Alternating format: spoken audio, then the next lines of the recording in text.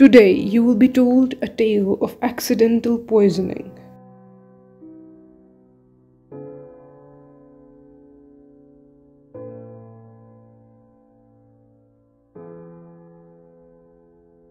The story of a middle aged man, Karamdad, who was a farmer by profession.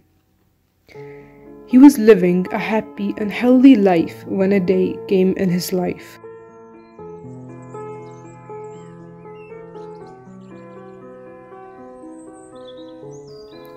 It was a pleasant summer morning.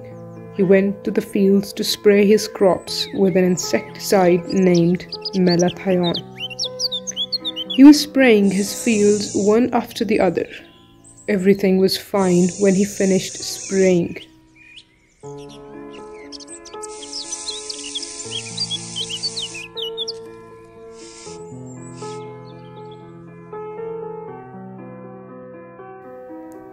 After taking some rest, he started hoeing one of his fields, when suddenly he started feeling agitated.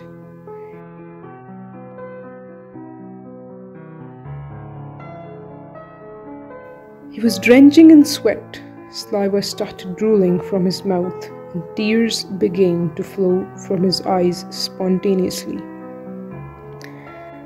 And then, all of a sudden, he fell to the ground.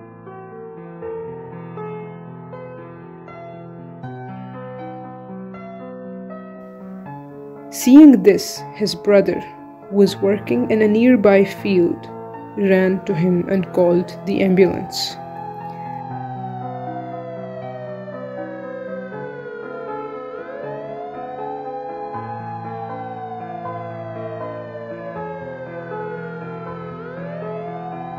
The ambulance came and took him to a nearby tertiary care hospital where he was received by a senior medical officer.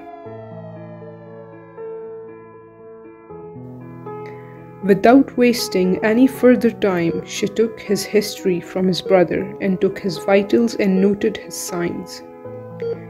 His vitals were deranged with heart rate less than 60 beats per minute and respiratory rate less than 20 cycles per minute, and he was unconscious. His signs were excessive sweating, salivation, lacrimation, miosis, urination, diarrhea, bradycardia, seizures, muscle fasciculations, and bronchoconstriction. Correlating his history and signs, she identified the poison to be an organophosphate. She immediately calls a medical resident and asks her to decontaminate him by removing his soiled clothes and washing his body. Meanwhile, she gave him intravenous infusions of 2 mg atropine over 10 minutes until full atropinization and pralidoxime 30 mg per kg over 20 minutes and a slow intravenous infusion of 10 milligrams diazepam for his seizures. After receiving the treatment, he started to improve. Now, the mechanism of action of organophosphate, atropine, and pralidoxime will be discussed in the next video.